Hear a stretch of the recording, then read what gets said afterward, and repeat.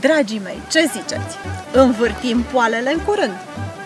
Eu zic că neapărat trebuie să învârtite într-o sârbă frumoasă, gorjenească, învârte-te, poală învârte. Sunteți curioși?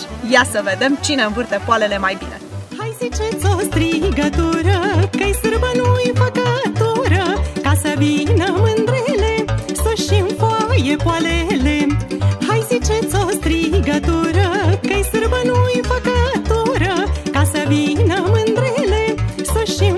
taie poalele Și zice-ne ca așa. În vreo